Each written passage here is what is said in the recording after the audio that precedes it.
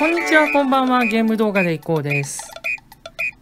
カルチャービットは始めていきましょう。はい、いよいよ、あの、10年目の開幕近づいてまいりました。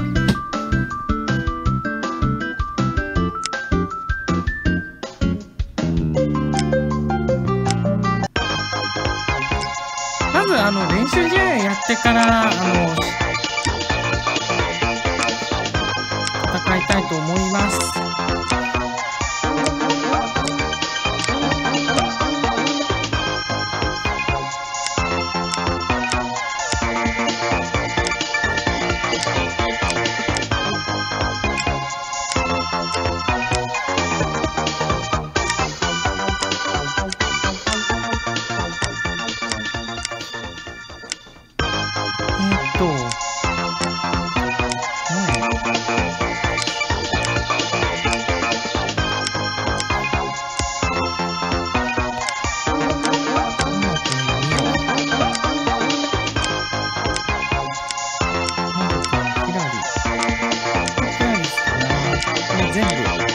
控えでいきます。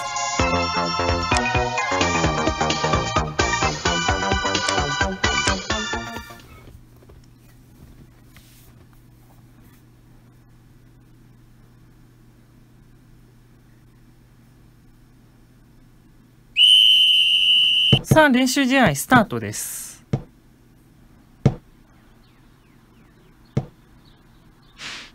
簡単に取りますよね、それは。エリカ。ユーナ。おっと、外したが、エリカが簡単に入れます。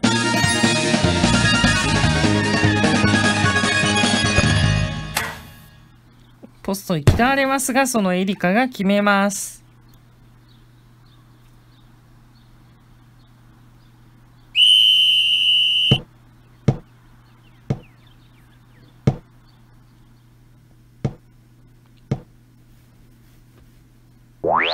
おお。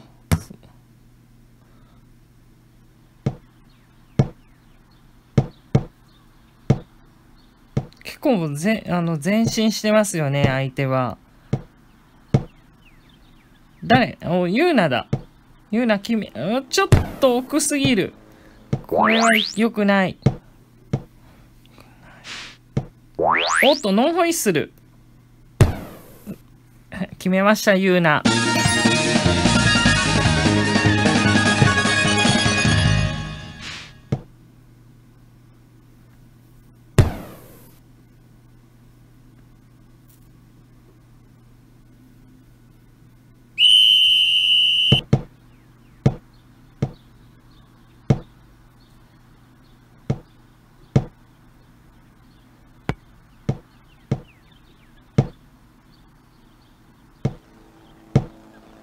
おっと、リオ。さらに、エリカに渡って、エリカ落ち着いて、3点目です。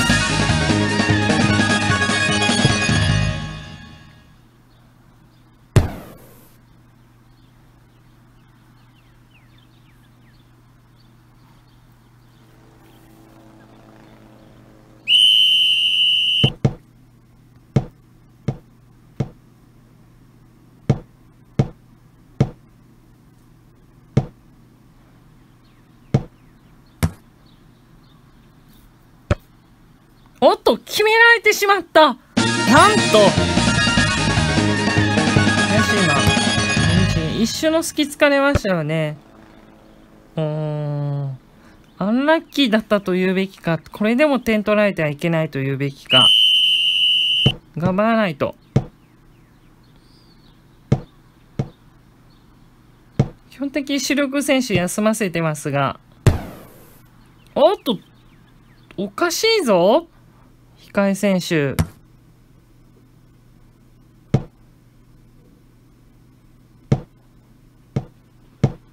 3対1。ここエリカが抜けた。エリカ無理にシュートを打ってしまったぞ。さつき。ミオ。おっと。取られるか。ミオ。抜けたが、これユーナが。バウンドして決めました。再び3点差。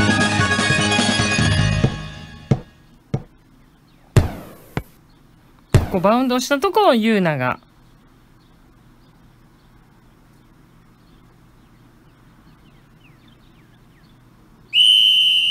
もうほとんど時間ないです。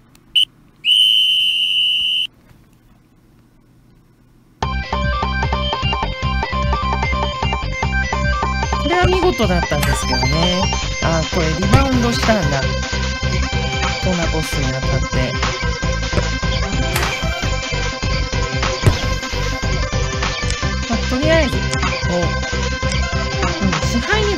的でしたよね。これは良かった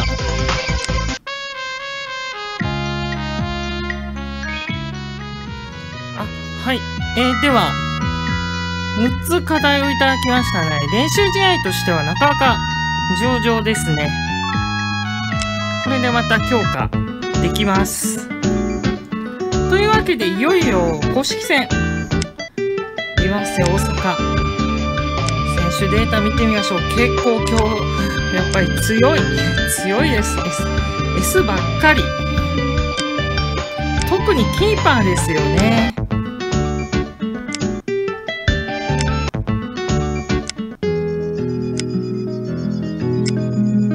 あれ？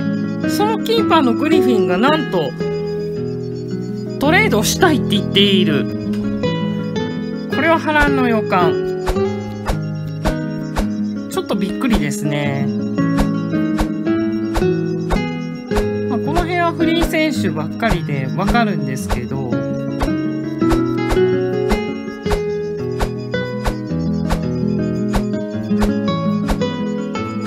途中途中茶の途中。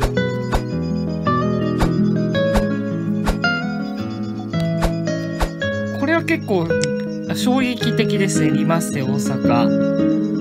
キーパー自体が。言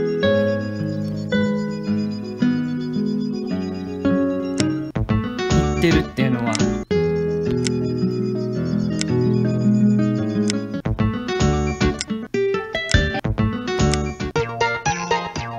いよいよ開幕戦を迎えます。選手たちも緊張している様子です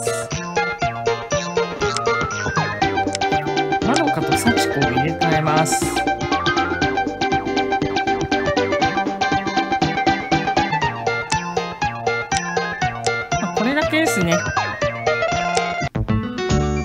さあ試合やりましょう。間違えた。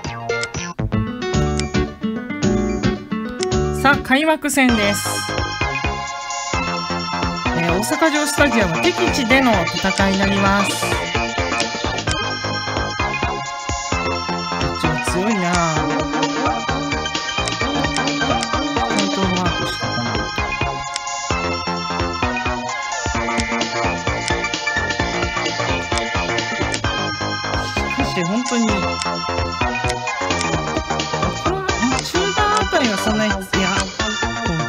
っていうのも強いキー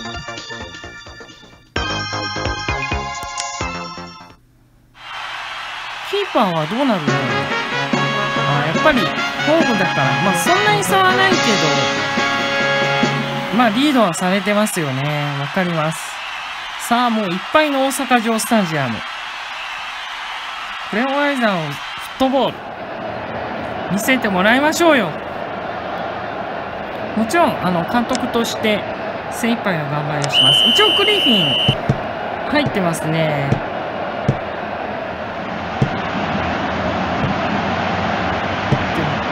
あーっと早くも。早くも。キーパーナイス。ピンチが続きます。必死のクリア。これはファール。さあくるみがと危ない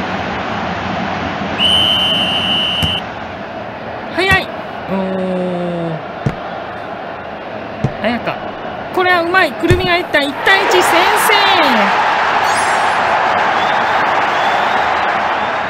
制。やりました。数少ないチャンスをうまく生かしました。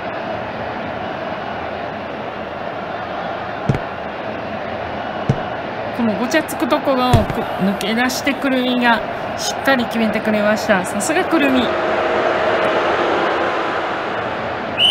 頼りになります。のスピードがストイカック速いですからね。きっちりこうやって取りに行くことが大事です。おっと？マレー。今の惜しかった。ファールです。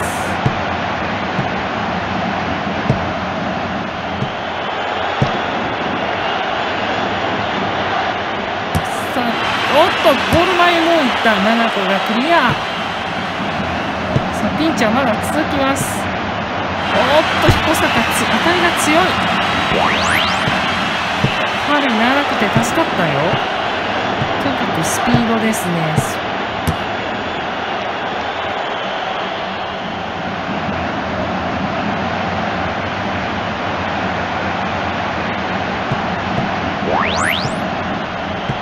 どうしたらいいのか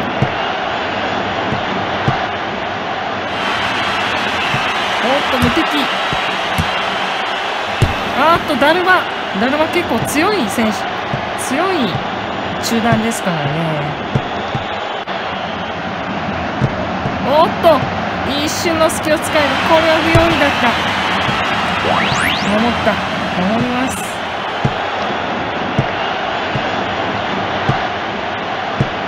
うまいですね。この相手の裏をかくところが。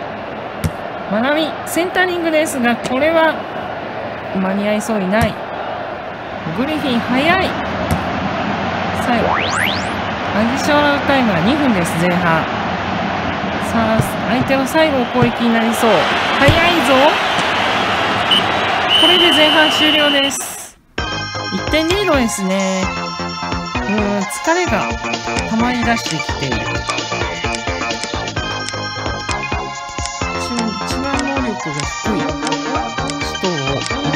しょう。サキコこういうのは早く変えた方が動画見てるとあの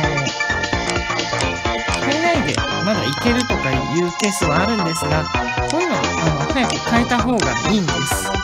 なぜなら他の選手のダメージもつながってきますからね。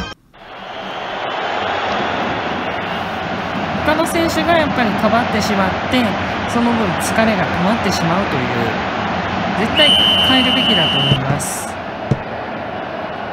早めの交代はを心がけるべき。おっと夏希危ない。ディフェンダーも変えていこう。えー、っとどちらとリオとミホとでもディフェンダーそんなにいい選手いないんだよな。まなみみゆきだったらあれミホの方がいい選手じゃんよくよく見れば美穂の方がいい選手ですよさあうまいさあ相手を焦らせるのがうまいオーセンタリングピンチは続きますさあここは中断変えないといけないですね。ここがリスかな。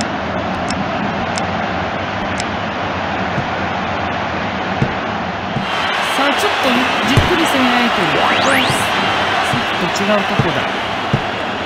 開幕戦勝利はあーっとピンチです。1対1キーパーがうまくバックが守った。外に出て選手を交代させますさあこれでリフレッシュできるかな？入れ替えましょう左右を。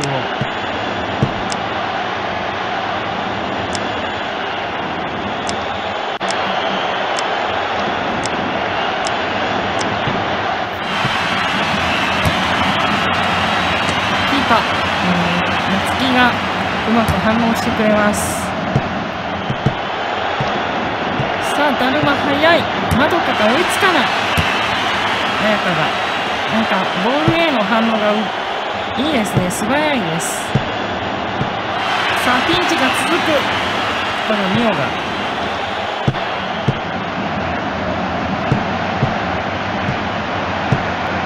さあもう交代枠使い切ってますからね。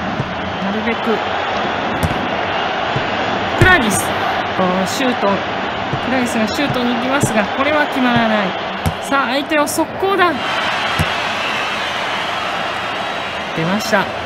さあこ相手ボールのスローインです。気をつけないと。ダルマのイタリアがうまいがだが夏希が防ぎます。守備がしっかりしてるとやっぱりいいですね。さあ美穂が思い切って攻めていく。ディフェンダーだが気をつけないと。早く戻らないと。さあちょっと守備が甘いように見えるがさあアディショナルタイムは1分。終了。守り抜きました。開幕戦勝利です。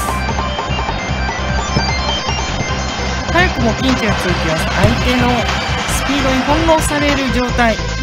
だが一瞬の隙を逃しませんでした。この綾香がくるみはスルースルーパスを渡してキルミが落ち着いて決めました。これが結果的に唯一のこの試合の得点決勝点となりました。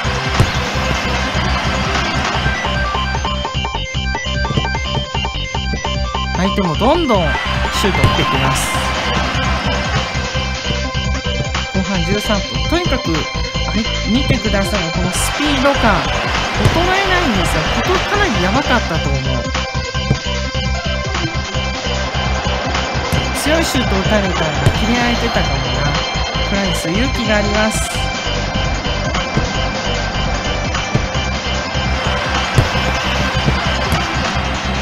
勇気が上げてタイムアップです。おこちらの方はボールを深く持ってますね。シュートは確かに相手の方が多く決められてますがこのボールを多く持ってるっていうところがこちらの勝利につながったということでしょうか。やっぱ開幕戦の勝利というのは非常に大大事大事乗っていけそうな、えー、10年目となります。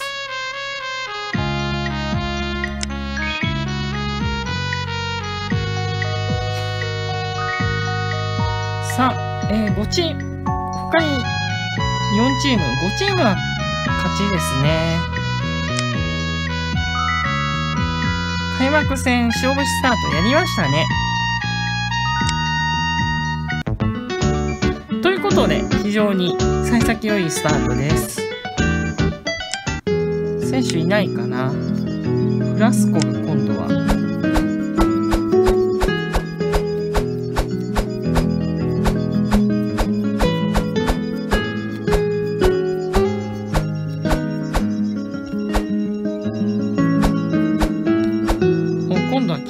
が。それ那覇か。え N1 の選手がどんどん。移籍したいって言ってますね。はいというわけで、えーと、次回の武蔵野ホーネッツの力はどうなのか。昨年10位ですね。え誰に勝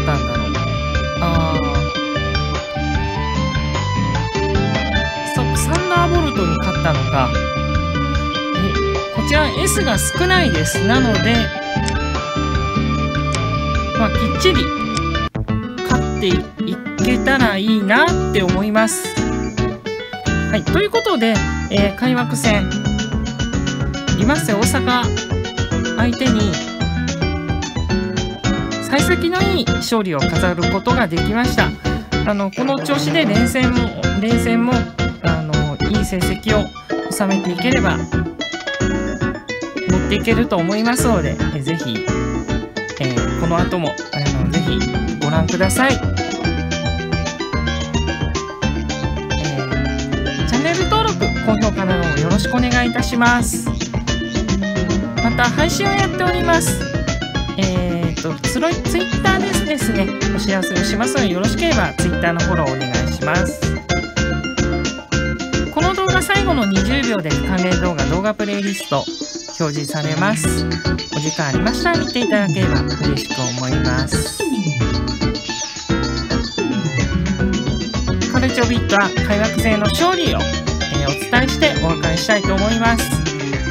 ご視聴いただきありがとうございました。ゲーム動画で行こうでした。